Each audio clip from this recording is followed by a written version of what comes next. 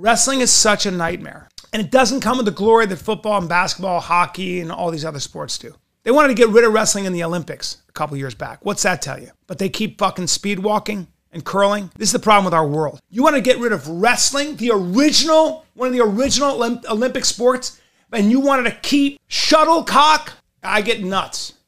I get fucking nuts. And synchronized swimming. I'm not knocking any of these sports, but what?